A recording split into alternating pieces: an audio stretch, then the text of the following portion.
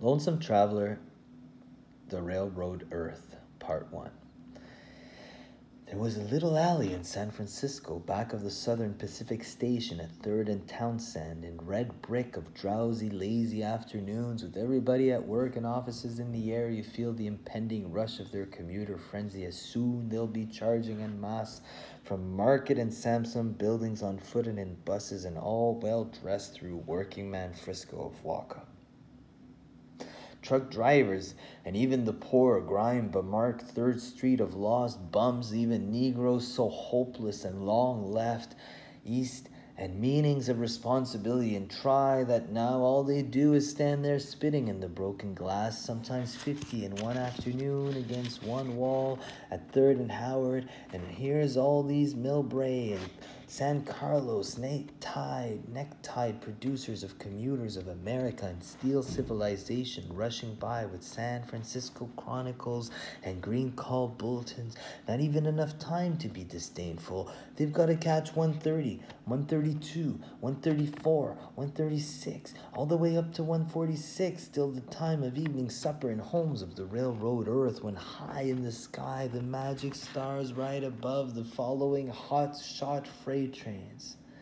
It's all in California. It's all a sea. I swim out of it in afternoons of sun hot meditation in my jeans with head on handkerchief on brakeman's lantern or, if not working, on books. I look up at blue sky of perfect lost purity and feel the warp of wood of old America beneath me and have insane conversations with Negroes in several story windows above and everything is pouring in. The switching moves of boxcars and that little alley which is so much like the alleys of Lowell and I hear far off in the sense of coming night that engine calling our mountains. But it was that beautiful cut of clouds I could always see above the little SP alley, puffs floating by from Oakland or the Gate of Marin to the north or San Jose south, the clarity of Cal to break your heart. It was the fantastic drowse and drum hum of lum mum afternoon, nothing to do, old Frisco, with end of land sadness. The people, the alley full of trucks and cars of businesses nearabouts, and nobody knew or far from cared who I was all my life, 3,500 miles from birth, oh, opened up, and at last belonged to me in great America. Now it's light in Third Street, the keen little neons, and also yellow bulb lights of impossible to believe flops with dark ruined shadows moving back of torn yellow shades with a degenerate china with no money. The cat's in Annie's alley. The flop comes on, moans, rolls. The street is loaded with darkness. Blue sky above with stars hanging high over old hotel roofs and blowers of hotels moaning out dusts of interior. The grime inside the word and mouths falling on tooth by tooth. The reading room, tick tock, big clock with creaked chair and slant boards, and old faces looking up over rimless spectacles bought in some West Virginia or Florida or Liverpool, England pawn shop long, long before I was born and across rains they've come to the end of the land, sadness, end of the world, gladness. All you San Franciscos will have to fall eventually and burn again. But I'm walking, and one night a bum fell in the hole of the construction job where they're tearing a sewer by day. The Husky Pacific and Electric youths in torn jeans who work there often. I think of going up to some of them, like, say, blonde ones with wild hair and torn shirts, and say, you ought to apply for the railroad. It's much easier work. You don't stand around the street all day and you get much more money, much more pay. But this bum fell in the hole. You saw his foot stick out. A British MG, also driven by some eccentric, once backed into the hole. And as I came home from a long Saturday afternoon local to Hollister out of San Jose, miles away across verdurous fields of prune and juice joys, here's this British MG packed and legs up, wheels up into a pit, and bums and cops standing around right outside the coffee shop. It was the way they fenced it, but he never had the nerve to do it due to the fact that he had no money and nowhere to go. And oh, his father was dead, and oh, his mother was dead, and oh, his sister was dead, and oh, his whereabout was dead and dead. But and then at that time also I lay in my room on long Saturday afternoons, listening to Jumpin' George with my fifth of Tokay, no tea, and just under the sheets laugh to hear the crazy music. Mama, he treats your daughter mean, mama, papa, and don't you come in here, I'll kill you, etc. Getting high by myself in room glooms and all wondrous knowing about the Negro, the essential American out there, always finding a solace, his meaning in the Fellaheen street and not in abstract morality. And even when he has a church, you see the pastor out front bowing to the ladies on the make, you hear his great vibrant voice on the sunny Sunday afternoon sidewalk full of sexual vibratos saying, Why, yes, ma'am, but the gospel do say that man was born of woman's womb. And no, and so by that time I come crawling out of my warm sack and hit the street when I see the railroad ain't gonna call me till 5 a.m. Sunday morning, probably for a local out of Bayshore. In fact, always for a local out of Bayshore. And I go to the Way Bar of the, all the wild bars in the world, the one and only Third and Howard, and there I go in and drink with the madmen, and if I get drunk, I get. The whore come up to me in there the night I was there with Al Buckle and said to me, You want to play with me tonight, Jim? And and I didn't think I had enough money and late, later told this to Charlie Lowe. And he laughed and said, How do you know she wanted money? Always take the chance that she might be out just for love or just out for love. You know what I mean, man? Don't be a sucker. She was a good looking doll and said, How you like a oolia with me, Mom? And I stood there like a jerk, and in fact, bought drink, got drink drunk that night, and in the 299 club, I was hit by the proprietor of the band breaking up the fight before I had a chance to decide to hit him back, which I didn't do. And out on the street, I tried to rush back in, but they had locked the door and were looking at me through the forbidden glass in the door with faces like undersea. I should have played with her shoe row.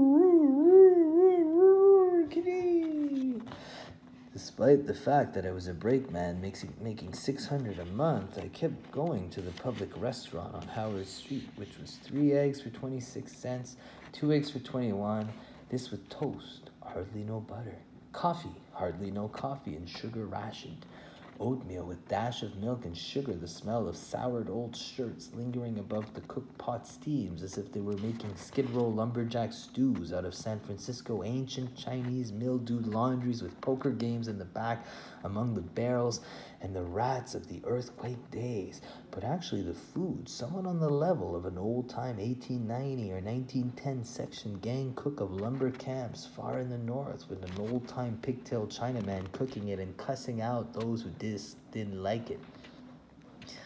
The prices were incredible, but one time I had the beef stew and it was absolutely the worst beef stew I ever ate. It was incredible, I tell you. And as they often did that to me, it was with the most intensest regret that I tried to convey to the geek back of counter what I wanted, but he was a tough son of a bitch. Ah, TT. I thought the counterman was kind of queer, especially handed gruffly the hopeless drool trunks. What now you doing? You think you can come in here and cut like that for God's sake, act like a man wants you and eat or get out? T-t-t- I always did wonder what a guy like that was doing in a place like that because, but why some sympathy in his horny heart for the busted wrecks? All up and down the street were restaurants like the public catering exclusively to bums of the black, winos with no money, who found 21 cents left over from wine panhandlings and so stumbled in for their third or fourth touch of food in a week as sometimes they didn't eat at all. And so you'd see them in the corner puking white liquid which was a couple of quarts of rancid sauterne rotgut or sweet white sherry. And they had nothing on their stomachs most of them had one leg or were on crutches and had bandages around their feet from nicotine and alcohol poisoning together. And one time, finally, up on my up third near market across the street from Breen's, when in early 1952 I lived on Russian Hill and didn't quite dig the complete horror and humor of Railroad's Third Street. A bum, a thin, sickly little bum like Anton Abraham, lay face down on the pavement with crutch aside and some old remnant newspaper sticking out, and it seemed to me he was dead. I looked closely to see if he was breathing, and he was not. Another man with me was looking down, and we agreed he was dead. And soon a cop came over and took and agreed and called the wagon. The little wretch weighed about fifty pounds in his bleeding count and was stone mackerel, snot nose, cold dead as a bleeding doornail. I tell you, and who could notice but other half dead, dead bums, bums, bums, bums, dead, dead, times, X times, X times, all dead bums, forever dead, with nothing and all finished and out there. And this was the clientele in the public hair restaurant where I ate many's the morn, a three egg breakfast with almost dry toast and oatmeal and a little saucer of and thin sickly dishwasher coffee, all to save 14 cents. So in my little book probably I could make a notation of the day and prove that I could live comfortably in America while working seven days a week and earning 600 a month. I could live on less than 17 a week, which with my rent of 420 was okay, as I also to spend money to eat and sleep sometimes on the other end of my Watsonville chain gang run, but preferred most times to sleep free of charge and uncomfortable in cabooses of the crummy rack. My 26 cent breakfast, my pride. And that incredible semi queer counterman who dished out the food, threw it at you, slammed it, had a languid, frank expression straight in your eyes like a 1930s lunch, lunch cart heroine in Steinbeck, and at the steam table itself labored coolly a junk junky looking Chinese with an actual stocking in his hair, as if they'd just shanghaied him off the foot of Commercial Street before the ferry building was up, but forgot it was 1952. Dreamed it was 1860 Gold Rush Frisco, and on rainy days you felt they had ships in the back room. I take walks up Harrison and the boom crash of truck traffic towards the glorious girders of the Oakland Bay Bridge that you could see after climbing Harrison Hill, a little like radar machine of eternity in the sky, huge in the blue by pure clouds crossed. Gulls, idiot cars streaking to destinations on its Dino boom across smosh waters fogged up by winds and hues of San Rafael storms and flashboats. There, oh, I always came, walked, and negotiated whole Frisco's in one afternoon from the overlooking hills of the high Fillmore, where Orient bound vessels you can see on drowsy Sunday mornings of pool hall goof like after a whole night playing drums in a jam session and a morning in the hall of acoustics, I went by the rich homes of old ladies supported by daughters of, or female secretaries with immense ugly gargoyle frisco millions fronts of other days, and way below is the blue passage of the gate, the Alcatraz Mad Rock, the mouths of Tamalpais, San Pablo Bay, Sausalito sleeping hemming the rock and bush over yonder, and the sweet white ships cleanly cutting a path to Sasebo. Over Harrison and down to the Embarcadero, and around Telegraph Hill and up the back of Russian Hill and down to the place streets of Chinatown and down Kearny back across Market to Third.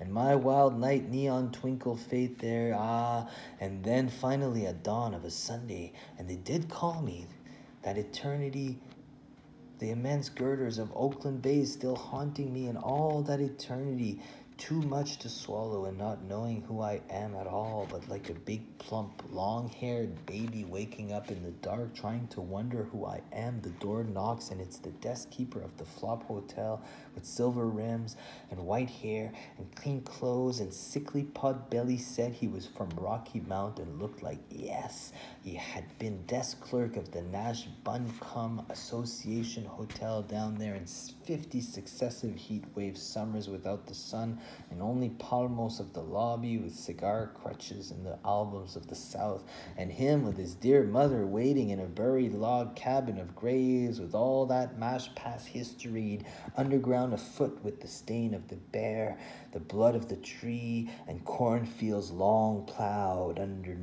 and Negroes whose voices long faded from the middle of the wood, and the dog barked his last. This man had voyaged to the west coast too, like all other loose American elements, and was pale and sixty and complaining of sickness. Might at one time been a handsome squire to women with money, but now a forgotten clerk, and maybe spent a little time in jail for a few forgeries or harmless cons, and might also have been a railroad clerk, and might have wept, and might have never made it.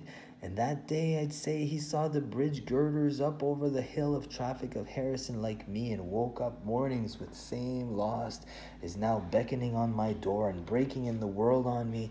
And he is standing on the frayed carpet of the la- the hall all worn down by black steps of sunken old men.